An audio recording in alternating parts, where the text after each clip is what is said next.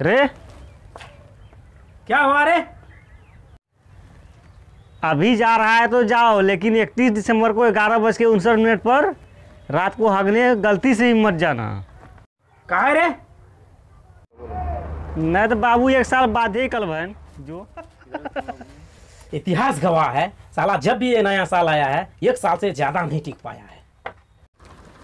ए भाई सिगरेट देना रे तू तो बोला था अगले साल से नहीं पियेंगे सिगरेट। चलो। अरे ये ना कहते कि दुकानदार से नहीं लेंगे लंगोटे यार से नहीं लेंगे ऐसा तो नहीं कहते